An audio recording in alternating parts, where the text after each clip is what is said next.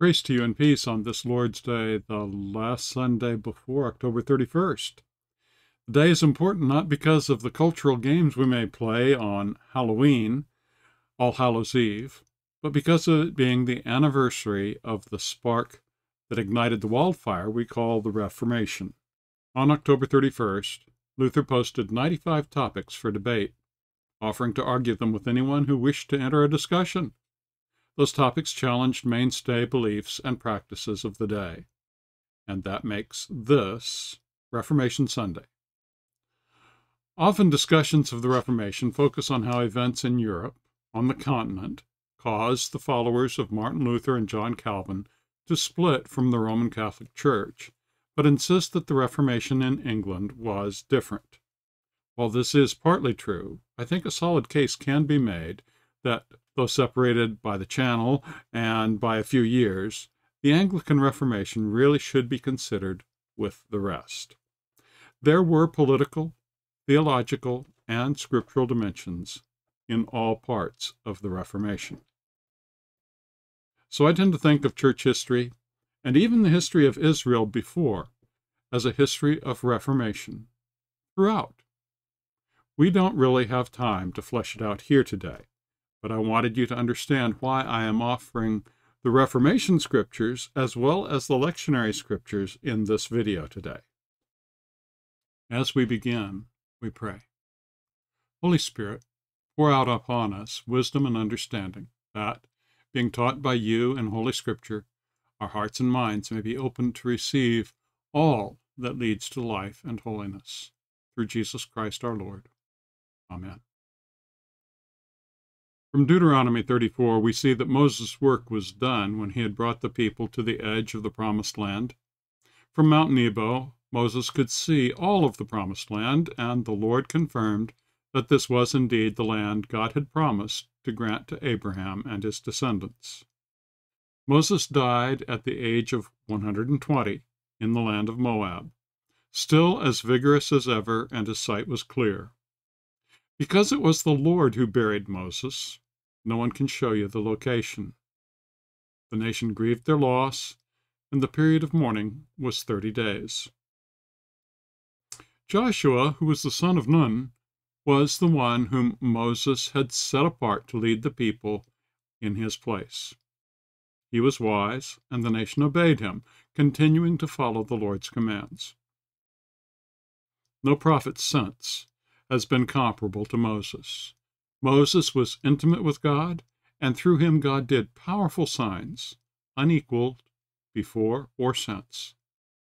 Egypt and Israel both witnessed these powerful signs.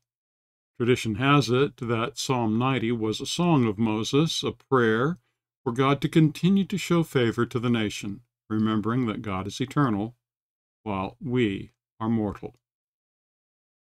The alternate first lesson is from Leviticus 19 and is one of the passages remembering the commandments given by God, commonly called the Decalogue or the Ten Commandments. Within this passage, though, are additional commands. These commands concern practices related to offering holy sacrifices, and also how people relate to the land and to the poor.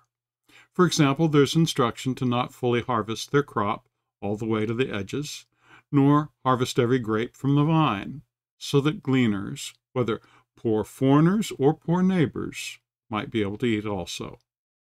Of particular interest to me today is the verse, You shall not stand idly by when the blood of your neighbor is at stake. This is directly related to the idea that failure to intervene when we can amounts to complicity in an evil being done. This passage concludes with a verse to which Jesus makes reference in the Gospel You shall love your neighbor as yourself. It is a command that can be seen as a summary of most of this larger passage of Leviticus 19. The psalm response for Leviticus 19 is Psalm 1, and it affirms that the way of blessing and peace is to follow the instructions, the law, of the Lord. When we're careful to study it and allow it to shape our lives, we become a blessing, like fruit trees. On the other hand, the way of the wicked ends in destruction. Continuing to read from Paul's letter to the church at Thessaloniki, we are reminded this week, Paul reminds his friends of the circumstances of their meeting. Paul and his companions had been abused at Philippi, but undeterred by the opposition they had faced, they continued to proclaim the good news of God. And there was no subterfuge in the work that they did, no ulterior motives. God had entrusted a message to them, and so they shared that message in order to please God. Paul reminds them that they were not like some people, trying to use flattery to persuade them, nor trying to get rich from their work, nor trying to get the approval of any particular group. Now, while apostles should be paid for their work, the gospel was offered free of charge. No bills submitted afterward. Rather than door to door salesmen, it would be better to compare them to those who care for children. It's a love that has motivated Paul and his companions all along, and deep friendships have been formed, not just new converts and fresh disciples. The gospel reading from the lectionary is from Matthew 22. Hearing how Jesus had bested the Sadducees in debate, the Pharisees decided they should give it a try. So they offered this as the topic for debate Is there a command of God that's more important than all the others? Jesus affirmed that indeed there is one, and that is to love God with every fiber of your being. But he didn't stop there. He said the list actually goes on. The second command in the list is to love one's neighbor. Love them as you would love your own soul. He offers his perspective that every other command in Scripture relates to one or the other of these two. Now, since he had a group of them together, he offered his own topic for debate Who is father to the Messiah? They argued it was obvious the Messiah must be of the lineage of King David. So Jesus asked, Is the descendant greater than the ancestor? And he quotes Psalm 110, verse 1, asking, How would King David have called him Lord? In the verse it says, The Lord said to my Lord, Sit at my right hand until I put your enemies under your feet. How can King David have called one of his descendants my Lord? No one could answer the riddle that Jesus had posed and from that day they decided they should not try to get into debates with him. Next, we turn to the texts that are related to Reformation Sunday. And there are a variety of texts suggested. There are two possible readings from the prophet Jeremiah. The first of those is an instruction to the people in exile that they should work and pray for the good of the community wherever they might live. The well being, the shalom, the peace of the people of God will be directly tied to the shalom of their larger community. It's a passage that concludes with a promise of restoration to their homeland at some far future date. Now, the second possible reading from Jeremiah is a promise of a new covenant, a time when all of the people of God will have the requirements of God as part of the deep fabric of their nature.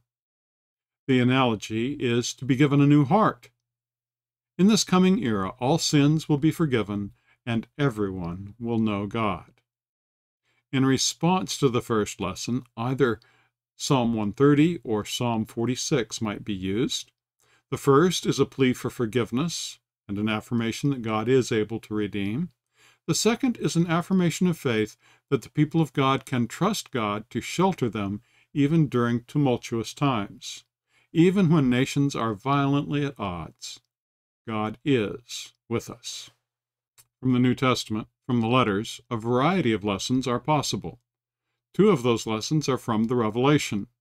In Revelation 14, we find the promise that God will one day act to judge the evil of this world. And so, the messenger of the Lord summons all peoples from every land and language and nation, worship the Lord who created all things and who gives life. In Revelation 22, we find the promise of the eternal city where God makes God's home in our midst, and the river of the water of life flows from the throne of God. And the tree of life growing on the banks of the river bears year round fruit, and medicine is made from its leaves.